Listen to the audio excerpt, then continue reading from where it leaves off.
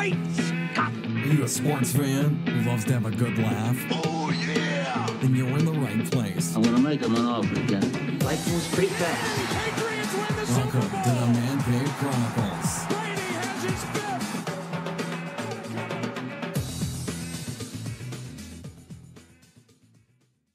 Welcome to another episode of the Man Cave Chronicles podcast, a podcast of talk culture where everyone has a story. I'm your host, Elias. You can find me on Twitter at the MCC Podcast. Today's guest, you see him on Cobra Kai as Brucks, Bo Mitchell. Bo, welcome to the cave. Hey man, thanks. How's it going? Good, man. What's going on with you? Oh, uh, not much, not much. Just uh, in the car right now, driving. Uh, I just left the just left the gym, so I'm actually uh, soaked in sweat, there you which go. is uh, pretty fun. Yeah, dude. so, so what's new with you? I mean, I know Cobra Kai, big hit. You know, I'm sure uh, you're living a good life with that, huh?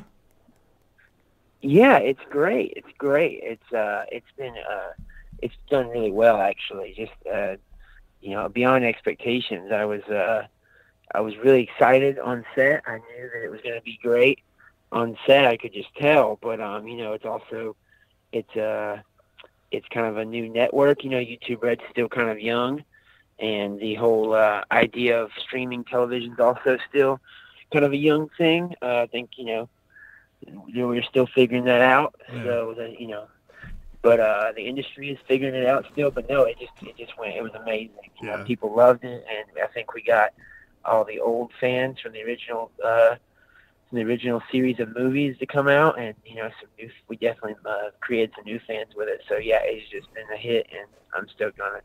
Yeah. Um. Yeah, we'll talk about that in a second, but let's uh, let's start off first. Uh, where are you from? Yeah, I'm from uh, I'm from Aiken, South Carolina, and it's a small town near Augusta, Georgia. We're right on the border of Georgia and South Carolina, and most people know Augusta because of the Masters golf tournament. Yeah. Uh, so yeah, that's kind of how I reference my location. But I'm technically in Aiken, South Carolina, and it's a it's a small town, and uh, have a lot of history with golf and horses here Yeah. and a lot of old people. Um, like you know, we were we were number eight top retirement city in the U.S. one year, Nice. so it's pretty interesting growing up here and living here.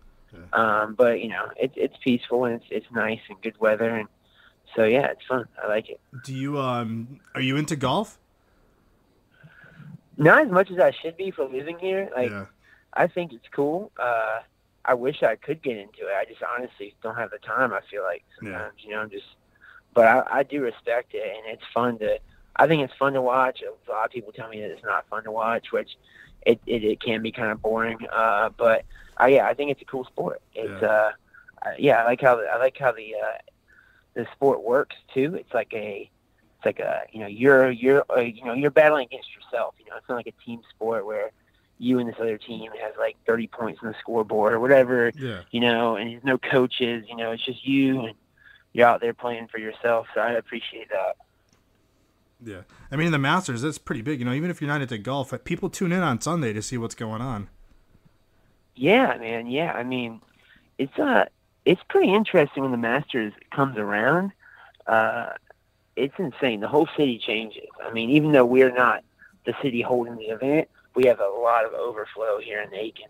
Yeah. And so it's just it's intense. I mean, people come from all around the world to watch this thing happen and uh it's crazy. You'll have like random sightings of like um, you know, big stars, like A list celebrities A list like professional sports uh professional athletes from other sports coming through too. So it's pretty interesting time. Yeah. So, uh, so growing up there, what were you into as a kid? I mean, I know that you know you're a big skateboarder, but what else were you into?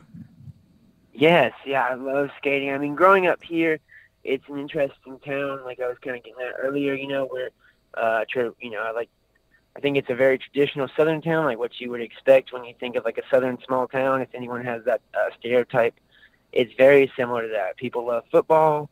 Here, people here love baseball. So, you know, as a kid growing up, you pretty much are forced into one of those two sports if you want to do extracurricular activities. So it's kind of weird, honestly. It's hard because um, you know, that's definitely not the only two things you can do outside of going to school as a young child. Yeah. So yeah, it's really it's it's kind of hard sometimes, you know, finding a niche for yourself and an outlet. uh, because of that reason. There's just they focus on those two sports here. So, I mean, there's a, there's a decent soccer league, and you know, uh, now that I've gotten older, you know, I think that it's became a lot more accepting of the arts, like you know, as far as painting and theater and uh, film and all that, which is great. But when I was a kid, man, it was wasn't hardly anything to do here besides play those couple of sports. So Yeah. it was weird. It was weird. Uh, but you know, I mean, it's a very peaceful city. Everyone's super nice, so Yeah. it's uh, definitely a nice place to live. But yeah, How did, how did you get into skating? You, you don't Yeah, hear you don't you don't hear you don't hear about like you know Southerners down there skateboarding. Right. Yeah, it's interesting. I mean, some of the states, southern states, are not very popular for it. Sadly, I mean, it's growing now, and there's been some people through the, you know, through the history of skateboarding to come out of these areas, but it's not as big as you know New York or California um, for it. But no, it was it was kind of random. I uh, started playing. I was into video games. I love playing video games. I mean, most most kids from my generation and going forward do. Um, and so I got some Tony Hawk video games, and I thought it was super cool. So I got a uh, kind of a crappy like Walmart skateboard, you know, uh, when I was for Christmas, and I went to the, we had a we had a small local skate park at the time, and I went I went there and kind of picked it up, and was on and off for a few years, and then uh, around 13 years old, I met some other people that were skating as well, and that were my age, and that were so we just I don't know I kind of got like a friend group finally after a few years of messing around with it, and that's what really got me stuck. And so after that, man, I was like that was the only thing I did Yeah. besides acting gigs. Uh, you know, I just skated. So. Yeah. Yeah, like I, like I was telling you before we went on the air that uh you know you're a little entrepreneur also you started your own like businesses on the side talk a little bit about that first you had a tropical snow Yeah, there you go. that? Yeah, you've been you've been uh, doing some research. oh man. yeah That's uh yeah, that was that was a very interesting period of my life. I don't know, we my parents were really supportive of me, always, still are, and I'm super thankful for that. It's definitely a huge key to my success thus far. And so they were just kind of they would listen to what I would say and some of it was like little kid nonsense and some of it they would be like, Oh wow, that was a good idea, man. And so so we, we would follow through and execute sometimes. And so I had uh, you know, accumulated some money from doing different things in the industry, commercials and, you know, spots on TV and, you know, uh, movies and all that. And uh, they, I was serious about opening up a, uh, a small business, uh, and particularly snow cones, because I also had an infatuation with that, with snow cones at the time. So anyway, we bought into a, uh, a small franchise called Tropical Snow, and they do shaved ice. So it's not the crunched up, you know, ones Yeah. you get from like a fair. It's like it's actually you put it on this big spinning machine. You put a big block of ice on the spinning machine, and there's a razor blade on the bottom, and it's like at a pro- this specific angle, so it shaves just a thin layer off. And it when you put it in your hand, it feels like snow. It's really really interesting. Um, and so yeah, we we bought into that, and I ended up uh, having two locations in Aiken, where I'm from, and they were these little ten foot by ten foot huts that sat on the side of the road, uh, and people would pull in and come, you know, come in and get a snow cone. And then uh, after a while, we developed a traveling snow cone hut. So we took the ten foot by ten foot model they had, and then uh, my dad, who is uh, very skilled with, you know, just skill with his hands, can build stuff, you know. And so me and him took a small trailer and built a 10 foot by 10 foot hut on the trailer.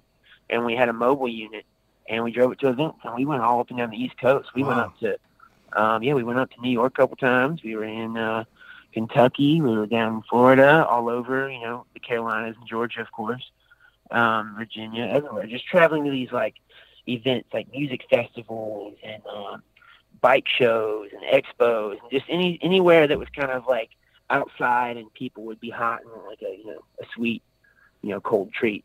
So anywhere we sit in, we traveled. So it was pretty interesting life, you know, yeah because I was homeschooled, so I got to go like in the middle of the year. Uh, we would just go somewhere and Wow. you know work work the weekend and just do my school on the road. And, yeah, it was crazy. So and then you sold that, that was how it started. Yeah, I sold it. Yeah, sorry if I'm getting long winded here, man. no no Just tell me the. Yeah, no, but uh, yeah, I sold it, and we let's see, I was about 14 when I sold it, and uh, I was basically just kind of moving and shifting gears because uh, skateboarding. I had uh, wanted to open a skateboard shop, a pro shop. So that was basically like, you know, something that sold all the gear, you know, sold all the uh, the clothes and the boards and all that. So I sold that snow cone huts, the tropical snow, uh, to another young franchisee, um, and in Louisiana, I believe. And we had we had uh, we had to haul them down there. that was crazy. uh, we we got a huge rollback trailer and uh, put the huts up on top, and uh, yeah, took them down there. So yeah, sold it, man. Sold out and moved on to skateboarding. Yeah. And how how's that company going? And what did you? Uh, how long did you have that for? Yeah, it's it's still it's still going at this point. So that was about 14, and now I'm uh, getting getting close to 24. So 10 years later, and uh, yeah, it is. It's still going. We're in the process of moving right now. Technically, uh, we had a indoor shop for a few years, and that was like the size of an office space. You know, small Yeah. retail office space, you know. and then uh, we had found a warehouse on the other side of town, and it was just perfect. And it was kind of in a, a rougher side of town, so the rent was low, and we just had a great time to. It was a great time for the business too because we had built a scene from being there for a few years. You know, people knew about us. We had new young skateboarders coming up, so yeah, we moved into there, and we just had a few ramps we had built out front of our our place in our parking lot. We put them in there, and we just started from then. We opened up that day, and uh, the first day we opened up, and and it was crazy, man. We uh, we had a couple rails, a couple small ramps, and it's this huge twenty thousand square foot warehouse behind you. All this space. We had barely a few things in there, and uh, the whole place was um, actually. Uh, going to get torn down soon if no one moved in. So they had some uh, things that need to be repaired, like some electrical stuff. So we only had power to like half the building for the first month. Wow. So it was crazy. Yeah, yeah, it was, it was a good business. And looking back on it, it was, at that moment, it was kind of overwhelming. But looking back on it now, I mean, you know, I wouldn't have traded it for anything. It's fun. So we we had a great time. We built up. We built an entire park inside and out. We had some outdoor things as well. And uh, yeah, man, we uh, we just moved out because the landlord uh, is deciding to renovate and try to sell it, um, sell it out to like a big corporation. So, Wow. um, but yeah, yeah. So anyway, we kind of got flushed out, sadly. Uh, but yeah, we're we're moving right now. We got it. We got all of our gear out. We got all of our ramps out, and we are looking for a uh, new place. Well, Good for you, man. I mean, that's a good. Uh, it's it's good to in, to you know put hard work into something that you enjoy. Thanks, man. Yeah, I mean, I, it's a passion. You know, I, I, I ha- it's weird because I, I just, I love, I love acting. and I love skating both equally. Sometimes I'm like, you know, uh, it, I think it's weird to have, you know, a couple different things, but you know, I'm, I'm into them both. So it's just, I try to split my time up evenly between them and between gigs and stuff, and um, and between, uh, you know, Yeah. acting, you know, between going out and skating and things like that. So, but yeah, it's, it's good. What made you pursue acting? Uh, acting came on. I was. Uh, it was kind of a. It's kind of. It's kind of a stroke of luck, honestly, man. I had. I was in a mall uh, with my parents at a very young age. I believe I was nine months old, and uh, yeah, I I was a baby, and this this agent was walking through the mall at the same time. Apparently, we crossed paths, and she just she saw me with my parents, and I guess was stoked. Um, you know, this is from what my parents say, and uh, I got picked up right then and there. She she traded information with my parents and called me like a week later. She was uh, she got me a, an ad for uh, a catalog for I think J.C. Penney or Baby Gap, one of those two. And it was so I, we flew out to New York next week Wow. and I started shooting this uh, look, lookbook, yeah, for babies' clothing.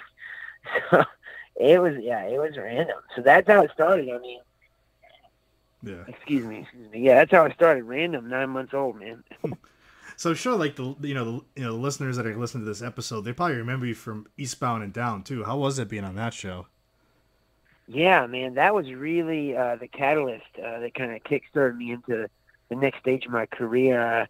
Uh, uh, Eastbound and Down, man, was just an amazing time for me uh, as like a young pubescent teenager to be around all those guys, and like I was like really looking for role models at that time at that age, you know, just because of that age, you know, Yeah. you're looking for people to be surrounded by, and so I'm I'm on the I'm on set, you know, with um, these like hilarious like comedian masterminds like you know Will Ferrell and Dan McBride and Joni Hill and uh, Jody Hill and and um, David Gordon Green and Yeah. and, uh, and Ben Best. Those guys are just they're great. And um, even having Craig Mack on set was hilarious. He uh, wasn't around uh, as much as those guys, but having him on set was great. So anyway, those they're all just awesome. So being there with them, I got to see them do these uh, amazing, um, let's see, improv scenes, and it was just it was just stunning because they would literally go off on these tangents, be completely in character the entire time, making relevant connections to backstories and everything is like so complex, and they were just super good at it, and it was hilarious as well. So I don't know, I just There must have Yeah, been. it's great. There That must have been a lot of. There must have been a lot of like bloopers behind the scenes in that show. Oh yeah, yeah. I ruined so many takes from laughing in the background. so yeah, no, I was. Yeah, I co- I costed them a little bit of extra money, probably Yeah, that's a all right. couple. I'm sure. spending spending some time I'm, I'm sure. laughing in the background. I'm sure HBO made some money from it. yeah, right.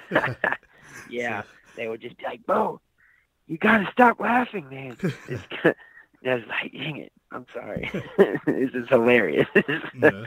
so yeah, I mean, you know, just learned a lot. Even in that aspect, you know, learning how to stay in character while someone else is doing something hilarious is like, yeah, man, I just picked up a lot from that. So I loved it, and you know, of course, it has just become a uh, a cult classic. Oh, you yeah. know, at this Yeah. point, people love it, and and you know, we, we shot the last season like four years ago, six years ago almost. So yeah, yeah, that's insane. But- Uh, oh yeah, it's been that long. Yeah. Jeez. Yeah, man. Yeah, I was eight, I was 18 on the set of season four, so Yeah. uh, that's kind of what I'm referencing right now in my head. Do you uh But do you see that show coming back for like another season or anything like that? No, man, I don't think so. I think they ended it the way they wanted to. They Yeah. ended season three, and they they were like happy with it, but um, I think you know HBO and them talked, and they they realized they were going to do a fourth, so they came back and and uh, had a crazy fourth season. Yeah. and um, yeah, and now they're I think they're done for sure. I mean, Vice Principals. Uh, you are you familiar with Vice Oh Principals? yeah, yeah, that's on HBO too. Yeah. Yeah.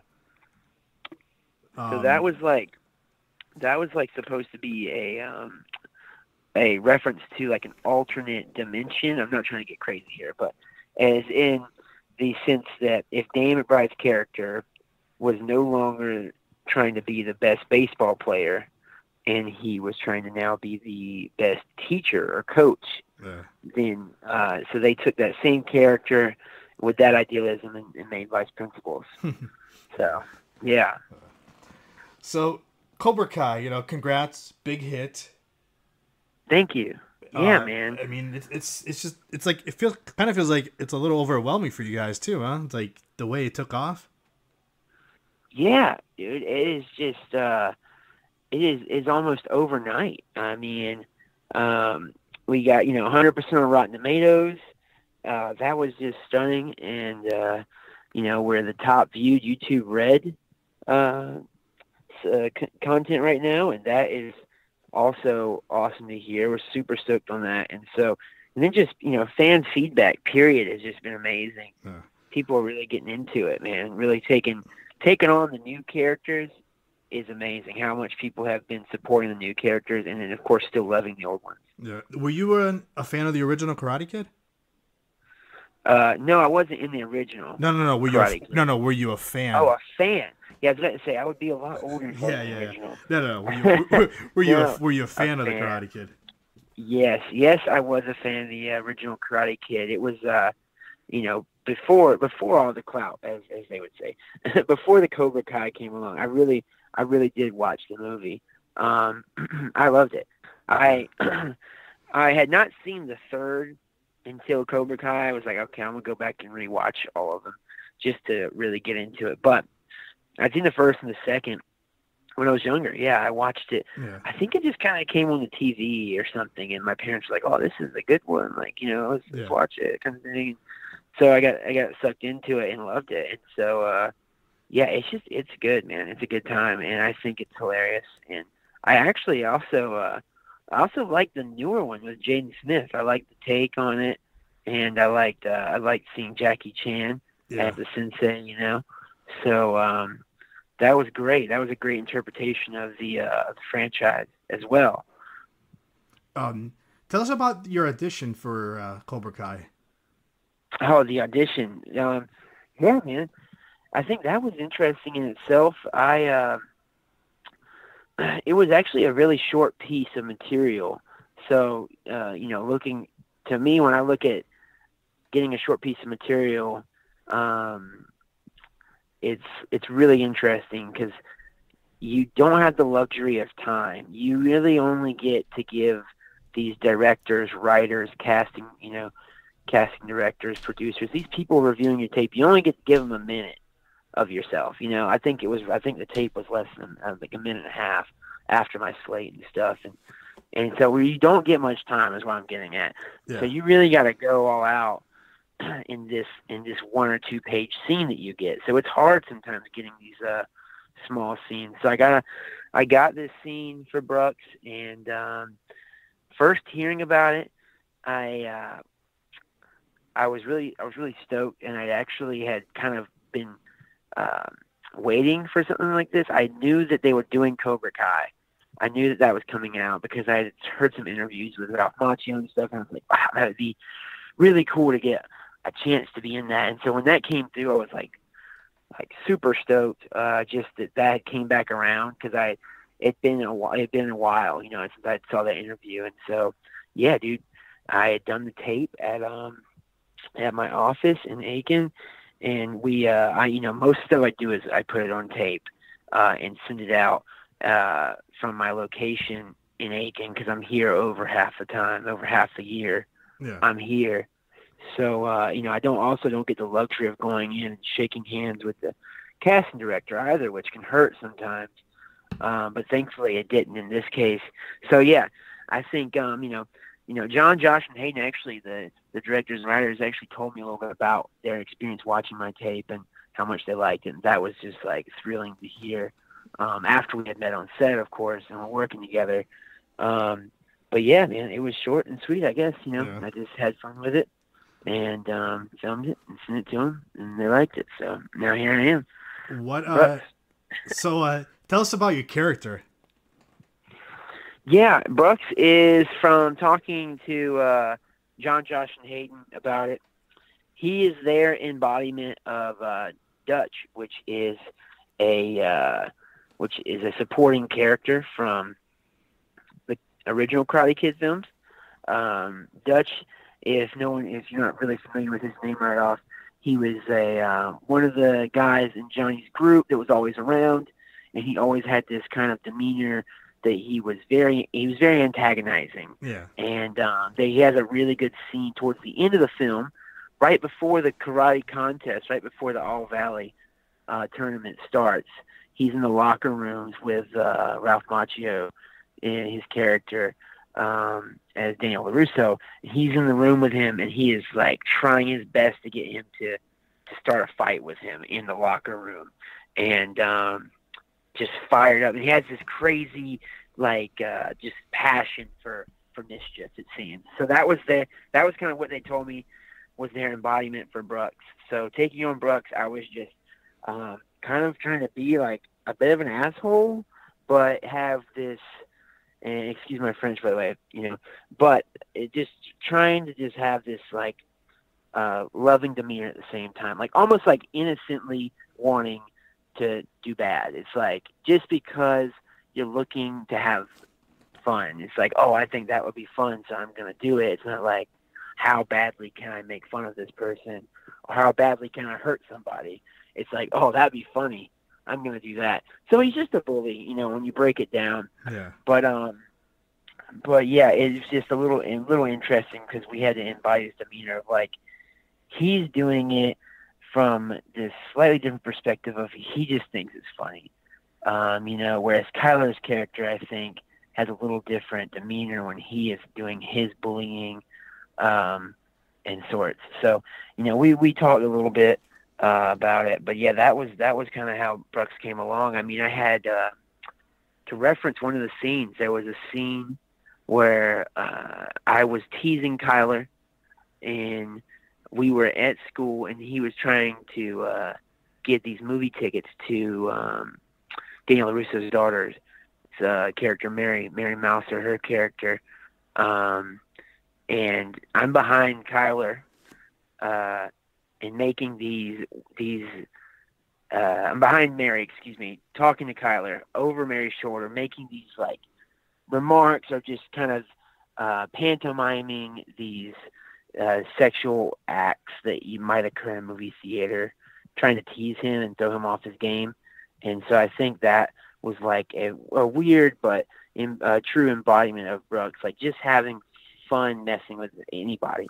You know, it's not like he was focusing on just the nerds. You know, he's like, oh, anyone I can mess with, I'm gonna mess with him. I'm gonna mess with my best buddy Hmm. Kyler right now. You know, while he's trying to mac on his girlfriend. So yeah, What um, what do you think has been the biggest challenge for you for this role? man, biggest challenge. Um, yeah, let me think. Just uh, you know, I play a lot of bullies, uh, just because I think my stature and uh, and you know, I uh, yeah, I don't know. Playing a bully is kind of hard for me Yeah. sometimes because I I not trying to sound like a kook, but I'm a pretty nice guy in general. Um, and I'm also pretty optimistic and just got a, an easygoing demeanor. And uh, so sometimes it's hard to like get into that zone to be like I'm gonna, you know, uh, be a be a bully, you know. Um, so that can that can be hard. That was possibly one of the hardest things for me because uh, you know what really makes it believable is sometimes just going the extra mile, and so that means you really got to think like, okay, what would I be doing to like torment this person the absolute most right now? You know what I'm saying? And Yeah. so uh, yeah, so that was kind of hard sometimes thinking like that. But but yeah, that was probably one of uh, one of the more difficult things. I think something else that was honestly very difficult, um, but on a slightly different uh, front uh, and subject is the um, is the uh, fighting scenes and choreography. Uh, that that was uh, that was very interesting to me because I had never done something that in depth. We had an amazing stunt choreographer, Hiro and he was just into it. I mean, every every little every chance he had to coordinate a stunt, you know, and even as small as it was, he went all out. So, you know, you got to give back this amount of energy where you're like dedicating like every single punch is like full on, you know, full energy and stuff like that. So that was also difficult. Yeah. Do you have a favorite scene from Cobra Kai that you were in? Hmm. Man, I'm not sure. Probably one of the fight scenes, honestly. I mean, that was that was so uh, fun to me, man. Just getting to choreograph the stunts and then follow through with them, and uh, you know, seeing how everything came out in post, uh, just made that so fulfilling.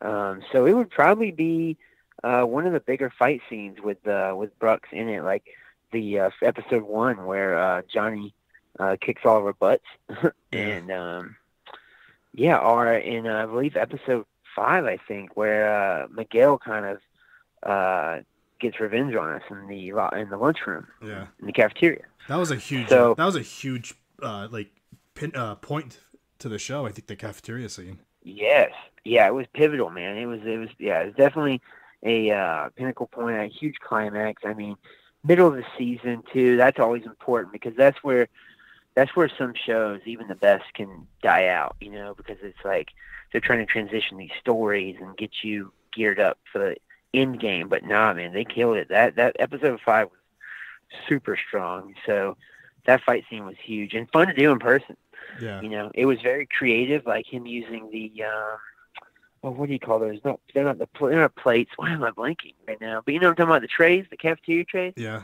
I loved how I loved the use of those those and just uh, it was fun. It was it was a good fight scene. So yeah. How was it working with uh like Ralph and uh, Billy Zabka? Yeah, that was amazing. I mean, those guys are super talented, and they've just been doing it for a, a long time. You know, I mean, they're not they didn't just step onto the scene. Um, you know, they've been in in the film industry for a long time, so they've got they've got a lot of experience. So that is just super great to like get to see in person, and you know, try to learn from uh, and take away from. But they're also just super down to earth fellas.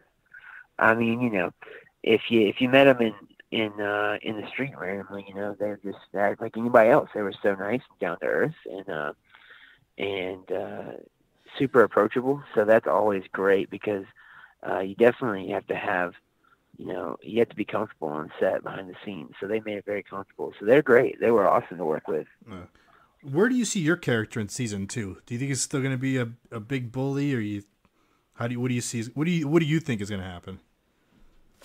Um, that's a that's a good question, man. You know, going back to some of the conversations I had with uh, Jon, Josh, and, and Hayden, they those guys they're just they're great minds. They're just uh, always developing uh, possibilities. But we talked about a few things, and um, you know, nothing's for certain as of now.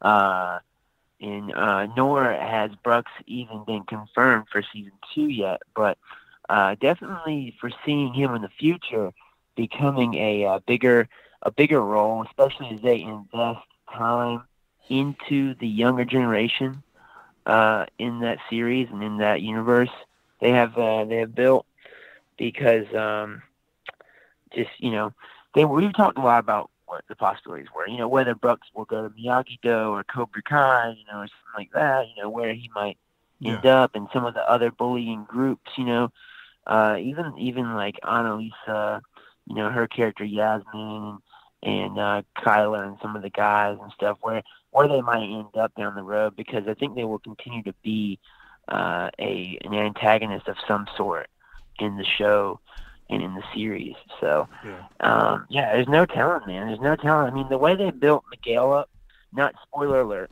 okay, if no one's finished watching the season, uh, you know, towards the last episode, the way they built Miguel up, um, you know, solo, uh, is crazy. I mean, it's a huge character flip, and he is now he's now almost a he's a bully himself, borderline. You know, Yeah. with the way the way he uh, the way he, he's fully just taken on the Cobra Kai spirit his character has. So you know, you could see a uh, you could see a character reversal here where now uh, you know Miguel may start bullying the bullies. So no telling where they could take it, man. Yeah. Infinite possibilities, and that's what's that's what's exciting. Oh They have a lot of content to pull from. Yeah. Even the uh, prior series, the prior the prior movie uh, trilogy, they have so much to pull from, from Yeah. that as well. I've I've spoken to people that have watched the show, and some people have not finished it because they don't want it. They don't want to finish it because they don't want to wait another year for it.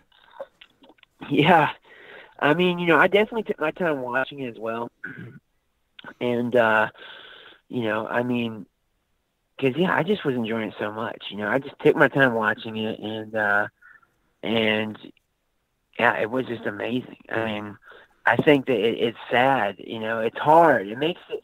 That's one of the down. That's one of the downfalls about the streaming uh, industry now is that you get the ability to binge watch and. Uh, Yeah. you knock you knock out like three four months worth of work in a day two days you know for the pro binge watchers out there you know for people that are pro binge watching and super good at it and can pound out 10 episodes Oh yeah. um, but even for the amateur binge watcher knocking something out in a week to a month i mean that's still pale in comparison to how long it took to produce those episodes so it's hard because you're like oh where's my new content and it's like well, you really just you really just knocked out like a quarter of a year's worth of content in a day. So it, it's kind of your fault. No, I'm kidding, but it's um yeah, it, it's hard. I mean, you know, it's uh, but they're definitely working right now. They're gonna, I think they're gonna come back bigger Oh, and yeah. uh, and definitely better. They're gonna get some more episodes and get uh a lot deeper into the series. Yeah. Do you uh, do you have any upcoming projects that you want to tell us about? Man, well, um, hmm, hmm, hmm. Yeah, I've got I've got some things on the uh, on the list right now. I mean, I have my own uh, series and show uh, called Gnarkatz. It's G N A R K A T Z Gnarkatz. That is a stunt based uh, comedy reality series, kind of like on the lines of Jackass or Fantasy Factory Okay. if you're familiar with those shows. And that is on Go 90, G O 90, and it's free to watch. Um, there is, uh, I believe, 24, uh, you know, eight minute uh, episodes on there. And that's based on me and my buddies here in Aiken uh, in the skate park. The skate park's name is HIC Warehouse, H I C Warehouse. And so we're just there doing doing it uh, South Carolina style, having fun, skating, have doing silly stunts, and just pranking, and uh, you know, it, and it's all based in the skate park or in areas surrounding Aiken. Um, we had a good time, man. We built a uh, we built a huge, huge uh, ramp up the side of our skate park. The skate park's like a 15 foot tall building, so we built a huge ramp going up the side of it, 15 foot tall. Um, you know, like skated off of it and uh, had a bunch of stunts. We brought a car in, cut it in half, Wow. skated on it, did you know, yeah, we just had a good time. So we we produced that last year. It's been out for um, it's been out for almost a year now as well. So that, but that's still it's still doing good. People are still enjoying it. So go check that out, Gnarkatz, All man. right. And uh, So, yeah. and, and lastly, how can the listeners find you on social media? Yeah, you can look up my social media is Blonde Ambition Mitchell on Instagram. That's a mouthful. So just you can just look my name up honestly. Bo Mitchell. B O M I T C H E L L. Bo Mitchell. On um, Facebook, Twitter, and Instagram. You can look me up and I'll be there. And then you can also look up the my skateboarding business, HIC Warehouse, there on Instagram and Facebook and my nonprofit that I founded um, based on skateboarding is Home for Skateboarding. That's on Instagram and Facebook as well. And what we do is we provide uh, skateboards uh, for kids that don't have the ability to gain one. And we also provide a chance for them to experience the uh, fellowship and learning possibilities in skateboarding and uh, give them a place to do it. That's awesome. Yeah, thanks. All right. Uh, thanks for coming on, and uh, and I hope you come back on. This was fun, man. Yeah, we'll have to do it again. Thanks for listening to me ramble for like 30 minutes, man. no problem. Yeah, this was fun. Uh,